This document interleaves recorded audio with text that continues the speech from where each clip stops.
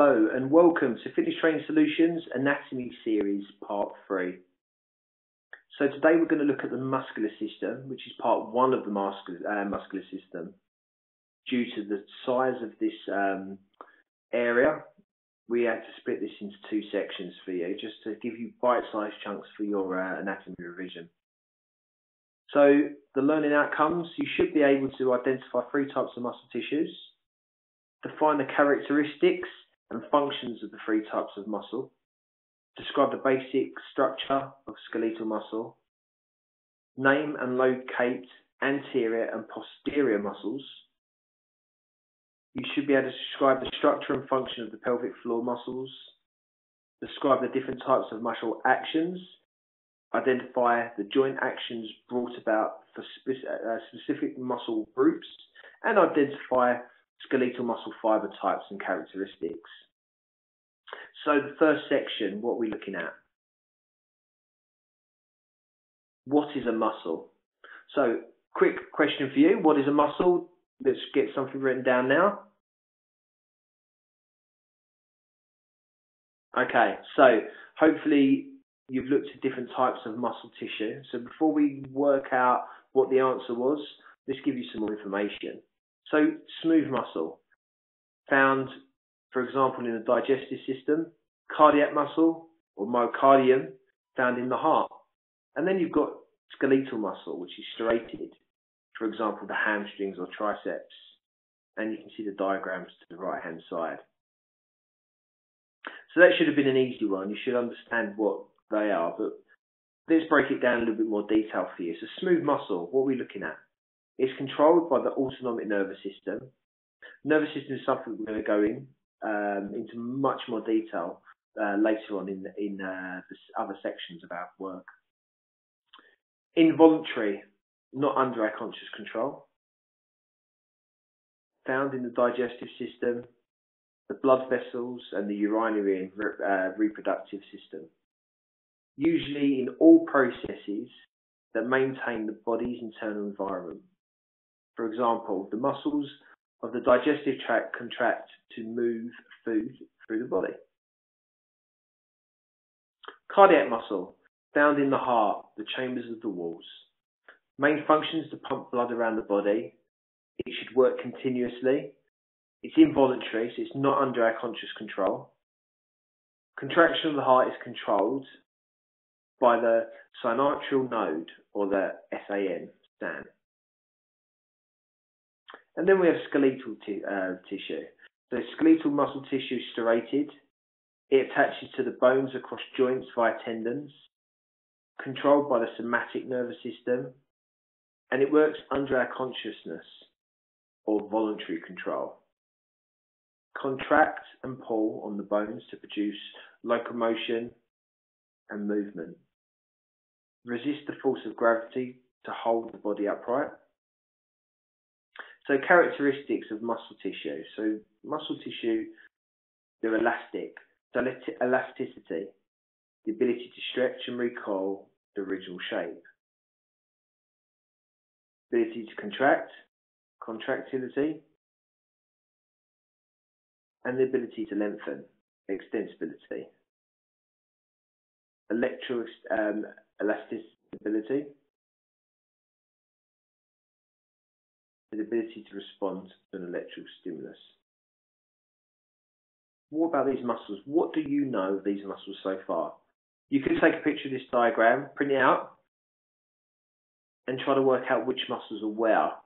So if you can do that, that would be amazing. If you want the answers, here they are right now.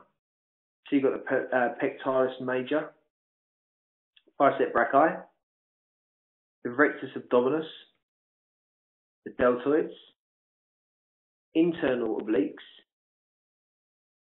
quadriceps, adductors, the tibialis anterior, external obliques. You've got the upper trapezius, iliopsoas, and then posterior, meaning the back. And what have we got? We've got the latissimus dorsi, gluteus maximus. We've got hamstrings, gastrocnemius, soleus, triceps brachii, hip adductor, trapezius, rhomboids, erector spinae. As you can see from the diagram, it's the basic structure of muscle, uh, skeletal muscle. So you've got the tendon and the fascia that goes around the outside. You've got the muscle belly itself. You've got the epi epimysium, fasciculi, the perimysium, the muscle fiber, the endomysium, the myofibril, and these myofibrils break down even further themselves into different structures. So you've got the sarcomere, which then breaks down into filaments and a thicker filament such as myosin. The myosin actin form what we know as the sliding filament theory, as you can see from the diagram. And this is showing you muscle contraction. As you can see, the myosin heads are pulling the actin filaments closer towards them. And I'll just go back to that for a second to show that again. So as you can see, you've got the myosin pulling the actin towards it, and this generates muscle contraction. I'm going to go into more detail on the sliding filament theory for you, but today that's all I've got for that section.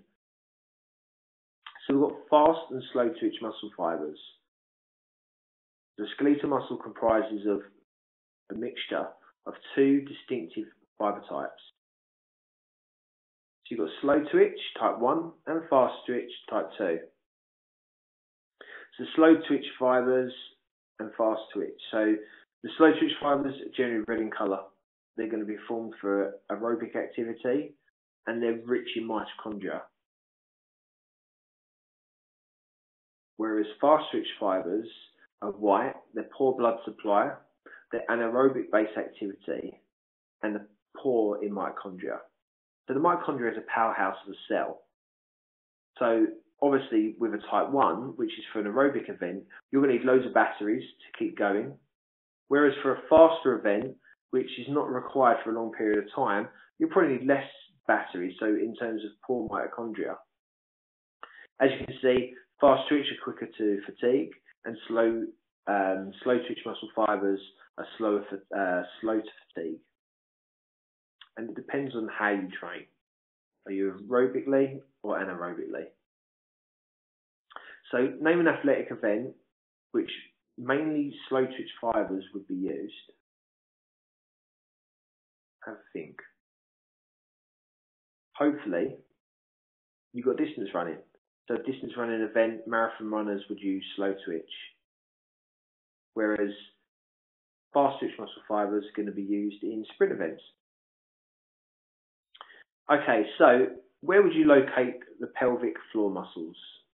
What would be a pelvic function of the uh, pelvic floor muscles? The pelvic floor muscles themselves, the structure, it comprises a small group of muscles and associative connective tissue which span the area of the underneath pelvis. The function is to provide support for the pelvic organs and prevent stress incontinence. It facilitates birth by resisting the descent of the presenting baby, form the lower part and inner unit. So we're going to stop there for today's session. Again, it's a short, bite-sized chunk just to give you an insight. There's going to be a lot more information in your manual. So please have a look at your manual, but this is going to help you in terms of understanding what the anterior and posterior skeletal muscles are, characteristics and functions of the three types of muscle tissue, and hopefully give you a brief outline of the pelvic floor muscles. I'll see you next time for part four and muscles part two.